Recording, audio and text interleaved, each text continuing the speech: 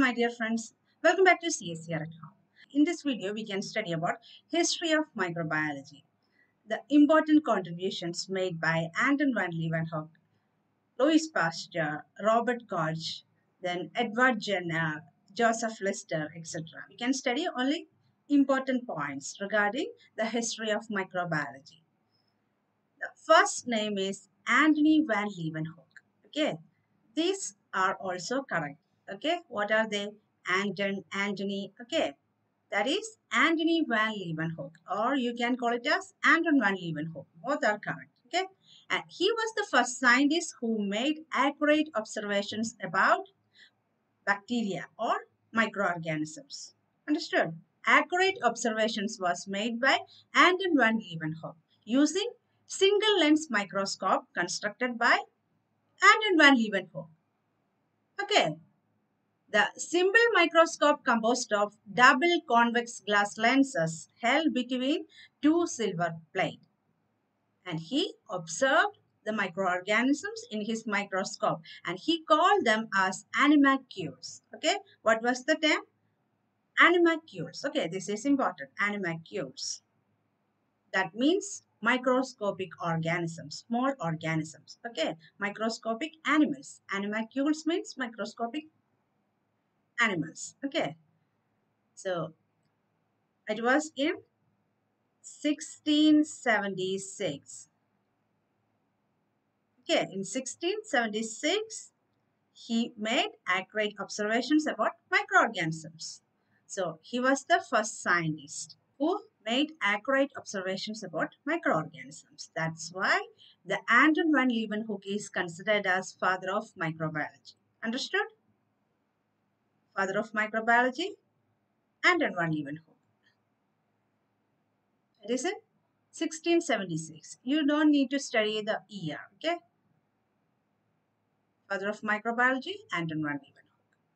In some textbook, they have mentioned that the father of microbiology as Louis Pasteur. But, and the, the, the correct answer is father of microbiology, Anton van Leeuwenhoek. Okay. Depend upon the option you have to answer. The next scientist is Edward Jenner.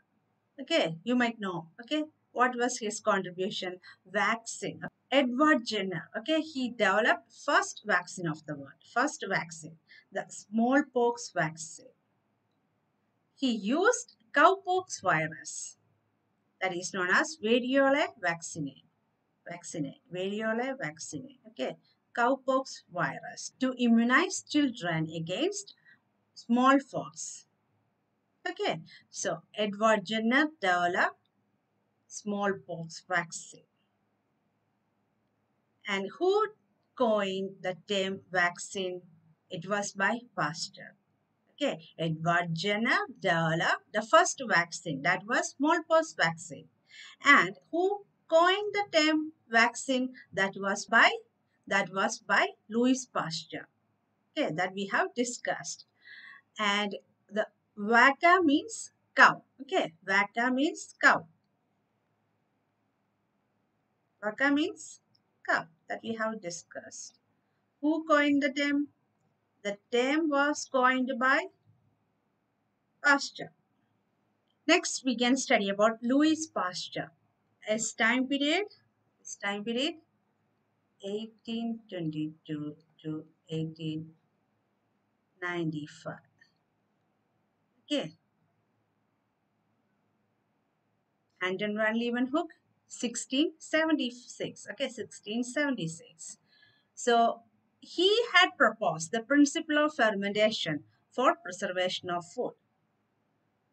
Fermentation was by Pasteur. Okay.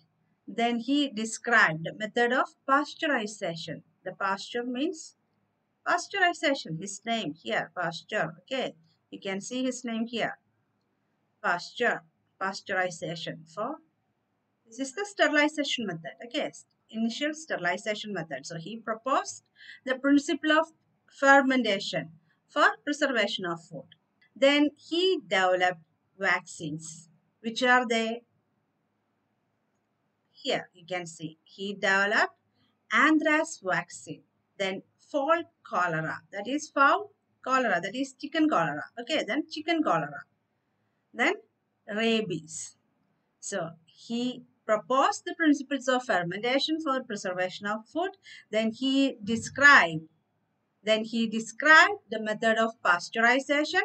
Then he developed vaccines. Which are the Rabies vaccine, anthrax vaccine, and fall cholera vaccine. That is chicken cholera vaccine. Okay, rabies we can call it as hydrophobia vaccine. Hydrophobia vaccine. Okay, rabies, hydrophobia. If the question comes like that, who developed hydrophobia vaccine? Who developed hydrophobia vaccine? The answer is Louis Pasteur. Louis Pasteur developed anthrax vaccine, then fowl cholera vaccine, then rabies vaccine. Understood? Three vaccines. Okay.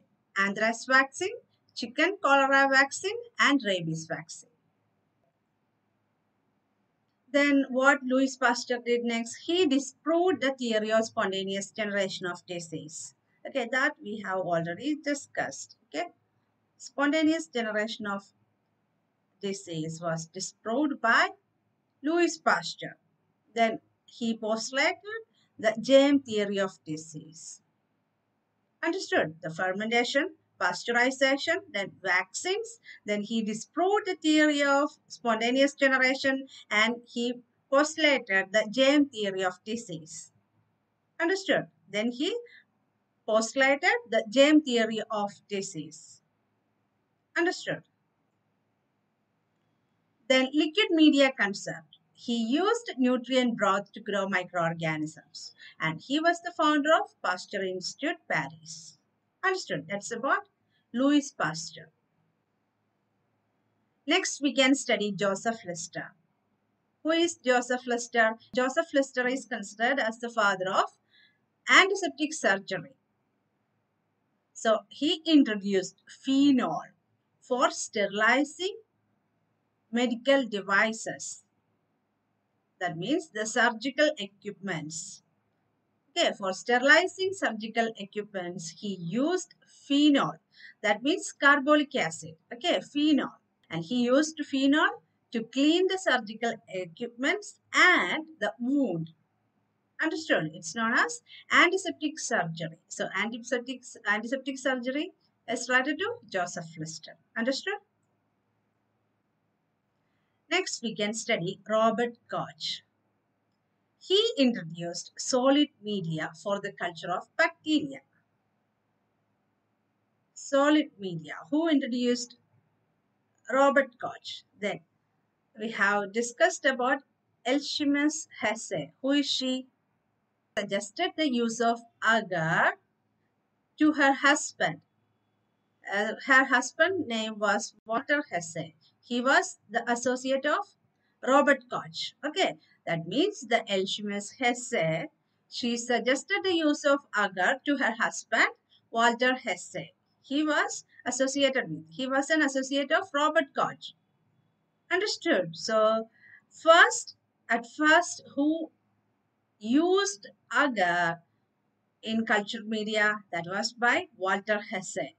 But who was the team leader? That is Robert Koch. So, the answer is who introduced solid media for the culture of bacteria? There may be two answers. That is by Walter Hesse and Robert Koch. So that's also depending upon the option you have. You have to write the answer. You have to choose the answer. Okay. Walter Hesse and Robert Koch. Both are correct answers. Okay. The history is always so confusing. Then Robert Koch also introduced the method of isolation of bacteria in pure culture. Okay. This is very important. That is pure culture. So, Robert Koch introduced the method for isolation of bacteria in pure culture. That's by pure culture. Okay, isolation of bacteria in pure culture by Robert Koch. Then he described hanging drop method for testing motility. Okay, hanging drop experiment. You might have heard about that. Okay, hanging drop experiment to test the motility of bacteria. Then he discovered bacteria such as Anthrax bacillus. Bacillus. Okay, Anthrax bacillus. It caused anthrax. And tubercle bacilli. That means Mycobacterium tuberculosis. Tubercle bacilli means Mycobacterium tuberculosis. Then cholera bacilli. That means Vibrio. So he discovered three bacteria. We can call it as Bacillus anthracis, Mycobacterium tuberculosis, and Vibrio. Okay, Bacillus anthracis, Mycobacterium tuberculosis, and Vibrio. Vibrio, the comma-shaped bacteria. Okay, the comma-shaped. That is very important. Vibrio, comma-shaped. Comma-shaped. Okay. Vibrio, there may be different types. That is Vibrio cholerae, Vibrio parahemolyticus, etc. So many different species. Now we can study Koch postulate. Four postulates. Okay. First one, the microorganisms must be present in every case of disease. What was his postulate? The microorganisms must be present in every case of disease, but absent from absent from healthy organisms. And how he proved this statement? He observed the stained tissue from diseased animal. Understood? He developed some staining method, tissue staining method. Koch postulate, that means the microorganism must be present in every case of disease, but absent from healthy organisms. Okay, present in every case of disease. But it should be absent from healthy organism. Koch postulate is very important. Okay, you can expect this question. It's very important. Then the second one, the suspected microorganisms must be isolated and grown in pure culture. Okay, the suspected microorganisms. In this case, it was Mycobacterium tuberculosis. The suspected microorganisms must be isolated and grown in pure culture. Here, he used coagulated blood serum. Coagulated blood serum for the isolation of Mycobacterium tuberculosis. Okay, he also proved this method, proves, uh, proved this statement. Then the third one, the same disease must result when the isolated microorganism is inoculated into healthy host. So the third one, the same disease must result when the isolated microorganism is inoculated into healthy host. So what he did, he injected this Mycobacterium tuberculosis into healthy guinea pig. Understood? So he injected this Mycobacterium tuberculosis into healthy guinea pig. So that was his third postulate.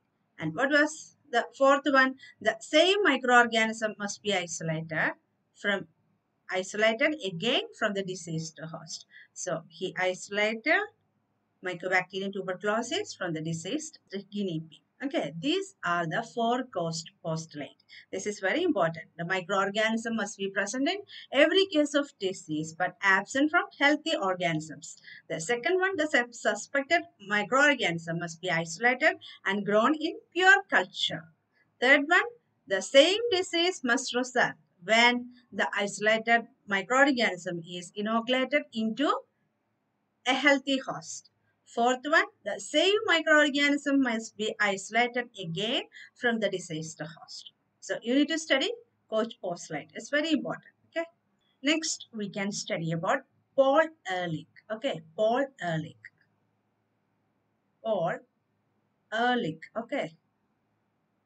He is known as the father of chemotherapy. He is known as the father of chemotherapy.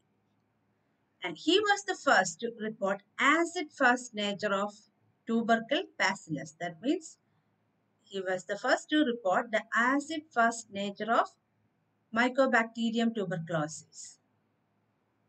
So he published his method of staining, staining tubercle bacillus.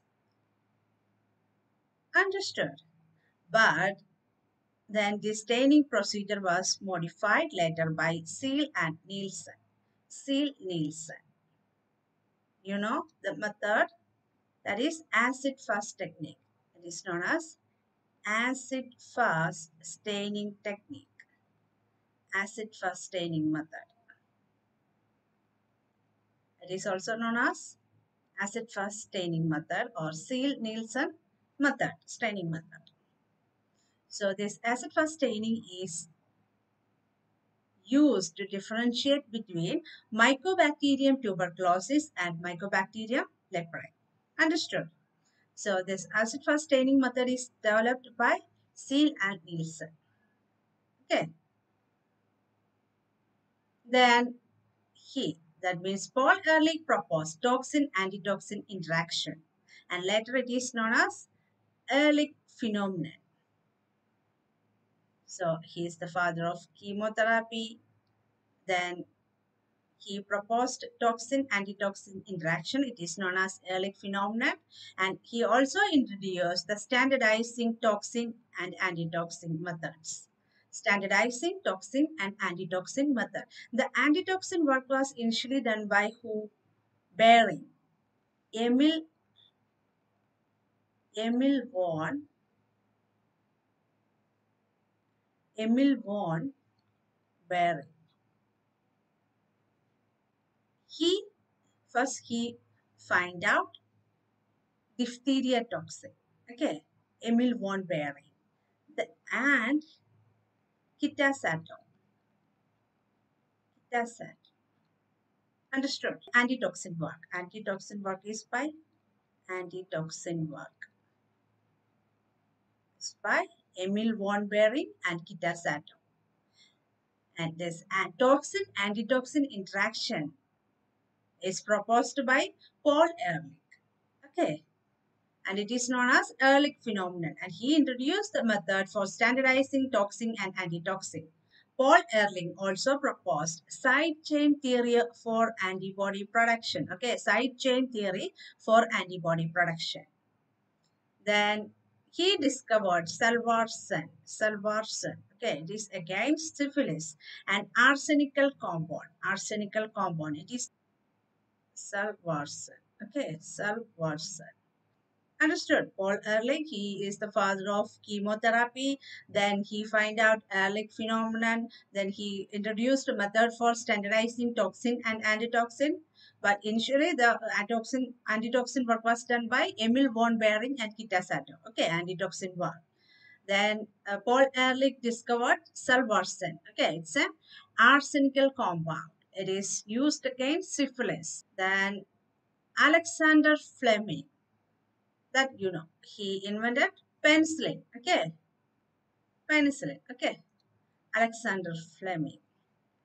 He discovered antibiotic penicillin.